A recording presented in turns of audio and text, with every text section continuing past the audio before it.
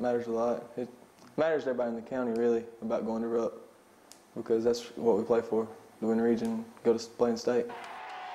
After back-to-back region championships that brought the total up to 29 region titles for Clay County, the Tigers gave it up to a team that had not won region since 1946 in Williamsburg.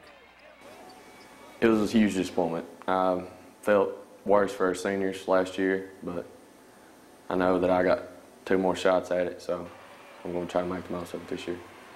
You know, it hurts thinking about it, but you just got to move on from it. It happened, and just looking forward to this year and ready to come back. It was the worst.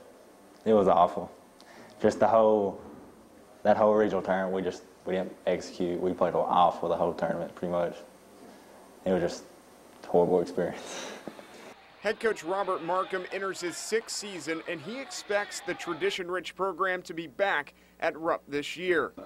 Obviously, didn't end the way we wanted it to end. Uh, a lot of programs, you know, they're happy for maybe making it to the finals and things like that, but we're, but we're not at Clay County. The Tigers returned four starters, including Blake Smith, who averaged 19 points and four rebounds per game last year. Plus, yeah, they get big shot Trey Farmer back for his last go around.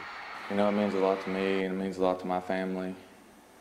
And it's just something I've always wanted to do, and I'd like to make it back to Rupp here my last year. That's something I've always looked forward to. Experience is, is important, um, so we, we've got that. Um, now, now what we've got to do is, is you know, everybody, you know, the, the things that didn't go great the, the year prior, you know, those things, we hone in on that and fix those things.